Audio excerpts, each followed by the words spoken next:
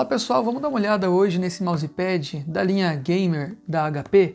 Um mousepad bem grande, ele tem 70 centímetros de largura por 35 de profundidade e pode ser uma opção bem legal, num preço muito bom para quem está querendo um mousepad mais espaçoso para colocar teclado e mouse. Então, bora abrir a caixa aqui. E se você está chegando no canal através desse vídeo, seja muito bem-vindo, eu me chamo Ed, se inscreva, deixe um gostei. E os links desse produto e dos outros vídeos que eu já fiz sobre outros mousepad também vão ficar aqui na descrição do vídeo e em um comentário fixado. Então bora lá, direto ao ponto. Dentro da caixa não tem mais nada, naturalmente é só um mousepad. Deixa eu abrir ele aqui. Eu acho que é por aqui.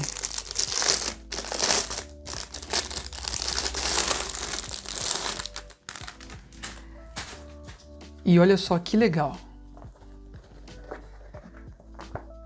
Quando a gente acaba de abrir esse tipo de produto, é normal ele ficar um pouco dobradinho assim, você pensa, ele está desde que foi fabricado, guardado na caixinha dele ali. Mas com o tempo vai se assentando, foi assim com todos os modelos que eu já testei aqui pelo canal, então normal.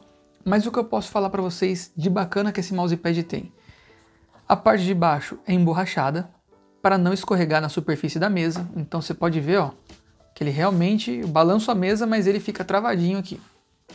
Ele tem a costura aqui nas bordas, e isso é um baita ponto positivo porque na parte que a gente encosta o braço, sabe, geralmente na beirada da mesa, você não vai ter problema de desfiar, pelo menos não tão facilmente assim. Talvez lá no futuro, mas vai ter uma resistência muito legal. E, segundo a HP, esse produto é um mousepad de controle, então não é speed, é controle. Vamos testar agora aqui para a gente ver como é que ele fica e realmente funciona muito bem, não tem muito erro, né? Vamos ser bem sinceros. Quando você compra um mousepad daqueles de 15 reais na papelaria, por exemplo, funciona bem. É pequenininho, mas não tem o que falar que não funciona bem.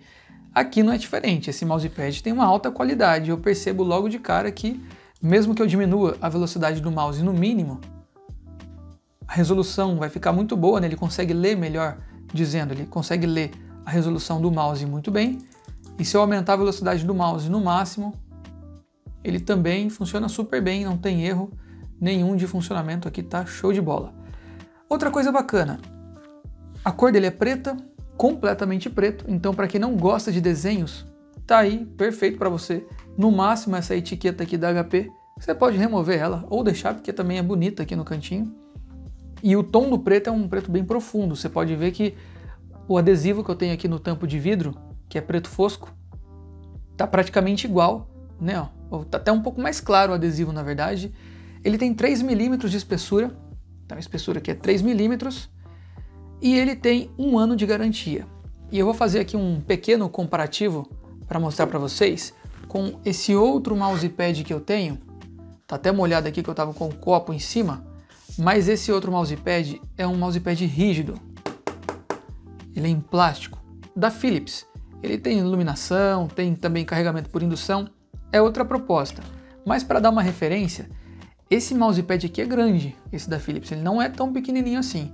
Aqueles de mercado, sabe, aqueles bem pequenininhos que vinha naquele computador antigo que você já teve lá no passado, é assim mais ou menos, para te dar uma referência. Bem pequenininho.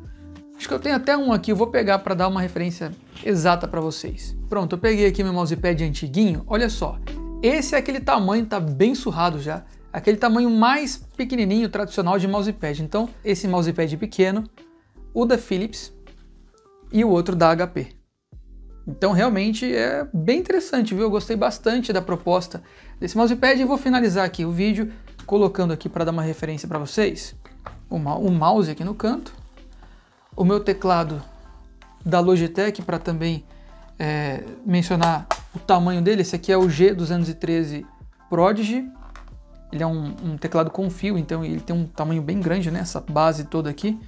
Vocês podem ver que cabe, ó, tranquilamente. Ó, se eu colocar o teclado mais para o cantinho, eu fico com um baita espaço aqui. Ó, vai lá na frente. E se eu colocar o teclado mais para o canto, para o meio aqui também, tem espaço suficiente. Olha, dá para usar tranquilamente, viu? Vou continuar usando esse mousepad, depois eu posso até contar para vocês melhor um comparativo que eu vou fazer com todos os mousepads que eu já comprei. Esse aqui da HP, o da HyperX, o Fury S, também o da Logitech, o G840, o próprio da Philips também. vou fazer um vídeo mais completo depois. Vou deixar aqui na descrição o link para esse vídeo. Você confere aqui embaixo assim que sair, vai estar tá aqui embaixo. E o link também para esse produto, e assim como os outros que eu já utilizei e eu gostei bastante, tanto o HyperX como o Logitech, vão estar também aqui na descrição do vídeo e no campo dos comentários. Bom, é isso, espero que vocês tenham gostado. Se gostou, deixa um gostei, inscreva-se no canal e confira os outros vídeos que estão passando aí na tela agora. Até o próximo vídeo e tchau!